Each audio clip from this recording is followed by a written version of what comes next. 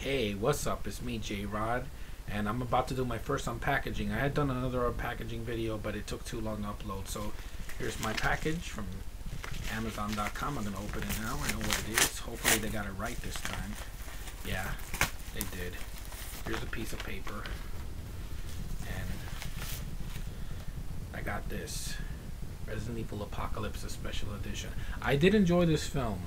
I thought, uh, as a guilty pleasure, I like this over the the other sequels I saw, Extinction and Afterlife, and I still haven't seen Retribution or the first film. But this film I really did enjoy for what it was. I mean, it's not going to be exactly like the game, but this is the closest to the game that we gotten in a live action film.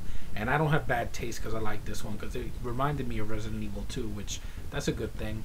Decent action sequences, you know, not the not the best visual effects in the world, but I have seen far worse. And I don't remember this one being in a lot of people's worst list of 2004. And uh, for what it was, you know, entertaining. And remember, uh, Paul W.S. Anderson did not direct this movie. It was another director. He just wrote the film. That's the main problem with it, you know, some of the writing. But still entertaining.